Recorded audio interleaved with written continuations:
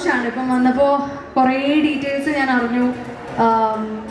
കല്യാണം എന്ന് പറഞ്ഞാൽ വിചാരിക്കും ഇങ്ങനെ ഡ്രസ്സ് വേണം ഇങ്ങനെ മേക്കപ്പ് വേണം ഇങ്ങനെ ഹെയർ സ്റ്റൈൽ വേണം. അപ്പൊ അതിൽ അങ്ങോട്ടും ഇങ്ങോട്ടും മാറി പോകുമ്പോഴുള്ളൊരു വിഷമവും നമ്മൾ ഉദ്ദേശിക്കുന്ന പോലെ തന്നെ കൃത്യമായിട്ട് കിട്ടണം എന്നുള്ള ഒരു അത് ശരിക്കും ഒരു മേക്കപ്പ് ആർട്ടിസ്റ്റിന്റെ കയ്യിലാണ്.